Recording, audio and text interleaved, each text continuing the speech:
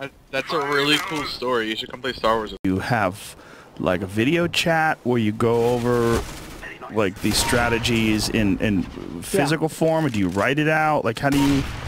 So obviously,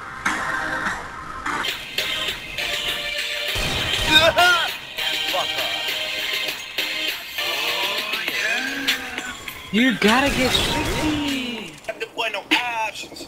I wanna see my niggas going Greatest street that's You gon' ever make step out of my bus. way you won't force me to proceed with actually having to tell you my worries with actual Someone hacked the game, didn't hack the game, they abused a glitch to make you invincible, so when you fight the boss, you get like two a day.